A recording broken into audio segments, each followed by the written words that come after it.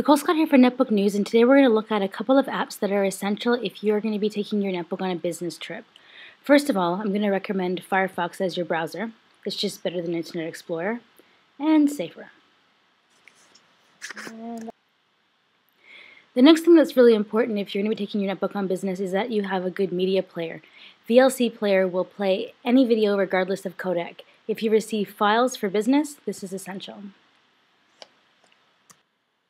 One of the other great advantages to using this player is that you can actually play broken files. Sometimes when a colleague emails me files, they often get corrupt in the process, and VLC Player gets it. Next up, we've got OpenOffice. If you don't have an extra $99 to spare for Microsoft Word, why don't you just get this? It's free, and it'll open up any file format that you receive that's document-based.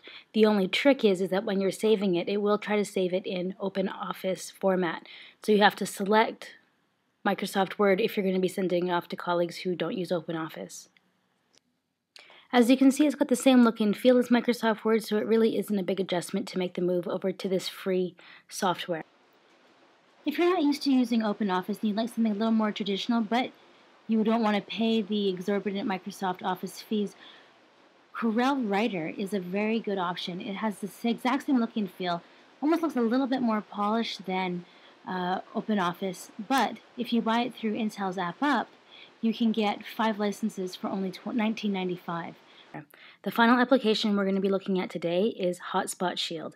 If you are traveling outside of the US, say to China or some countries in uh, Africa, uh, there are some restrictions on websites that you can visit.